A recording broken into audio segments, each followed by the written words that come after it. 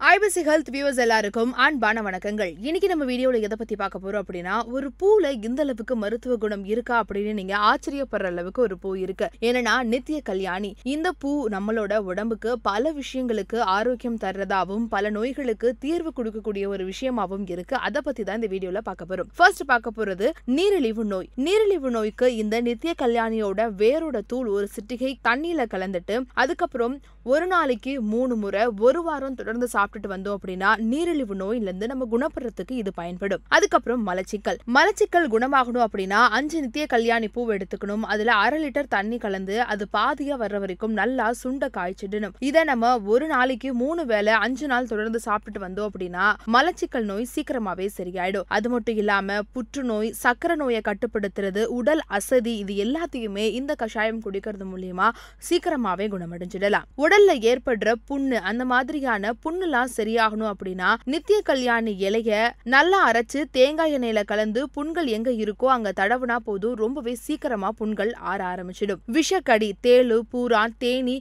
இந்த மாதிரியான விஷக்கடி எல்லாம் போக்கணும் அப்படின்னா நித்திய கல்யாணி இலைய அரைச்சு போட்டாலே போதும். உள்ளுக்குள்ள இருக்கிற எல்லா விஷமும் வெளியேறிடும். இந்த நித்திய கல்யாணி இலைய அரைச்சு குடிக்கிறது மூலியமா மன உளைச்சல்ல இருக்கிறவங்க தூக்கமின்மையால கஷ்டப்படுறவங்க எல்லாருக்கும் அதுல இருந்து விடுபடுறதுக்கு இது ஒரு அருமருந்தாவே இருக்கும். இதெல்லாத்தையும் ட்ரை பண்ணி பார்த்துட்டு ரிசல்ட் எப்படி இருக்கு அப்படிங்கறத கமெண்ட் செக்ஷன்ல ரிவீல் பண்ணுங்க. இந்த மாதிரியான விஷயங்கள்லாம் தெரிஞ்சுக்கணும் அப்படின்னா ஐபிசி ஹெல்த்தை சப்ஸ்கிரைப் பண்ணுங்க.